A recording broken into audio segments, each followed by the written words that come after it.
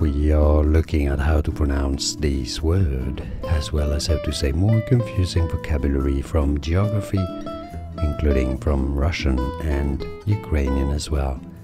Oblast.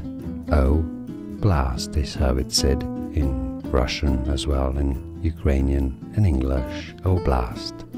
More videos for you here to learn more. I'll see you there. Thanks for watching.